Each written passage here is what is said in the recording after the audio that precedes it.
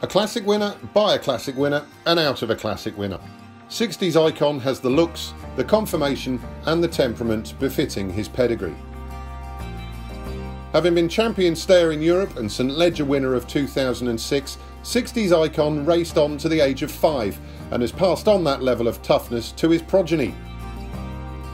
The first of them hit the track in 2012, and since then he's maintained an incredible record of 50% winners to runners on the flat, on all types of ground, and over distances ranging from 5 furlongs to 2 miles.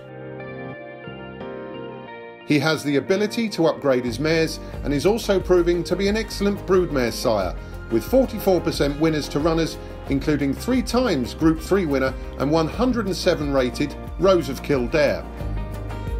It is hardly surprising that this son of Galileo, who is out of Oaks winner Love Divine, should pass on such quality, and with his yearlings currently averaging £16,000, that's not a bad return on his 2021 fee of £1,000 only, payable on or before covering.